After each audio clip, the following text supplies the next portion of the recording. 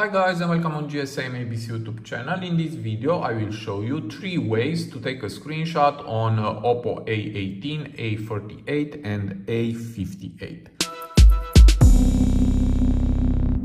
So here is my Oppo A48 and uh, to take a screenshot we have three ways. The first one just press together volume down and power button like this and uh, here is my screenshot. It is very easy uh, let's do it again. Volume down and power and uh, here there is.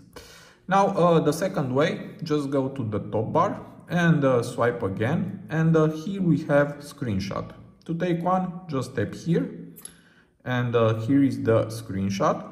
But also we have another features. If you tap on the writing on screenshot uh, you can do also a scrolling screenshot and a partial screenshot. And uh, to do a scrolling screenshot, let's go on uh, a web. And uh, here is uh, a page. And uh, if you want to take a screenshot on this page, just go to screenshot, tap here on screenshot.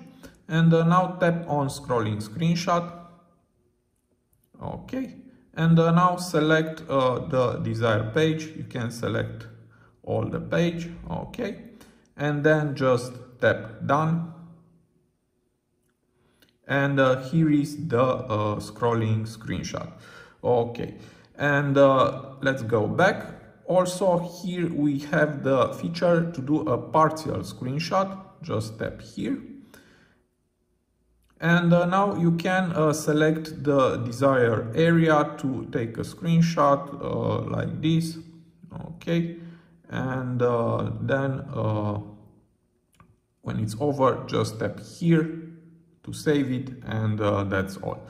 And uh, now the last uh, way to take a screenshot you can use three fingers to swipe on the screen like this.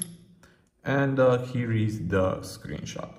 So it's nice that you, we have three ways. The screenshot you will find it in the photo area and uh, here there are. Okay and uh, from here uh, you can uh, send it uh, you can uh, edit it or delete it if you don't like it.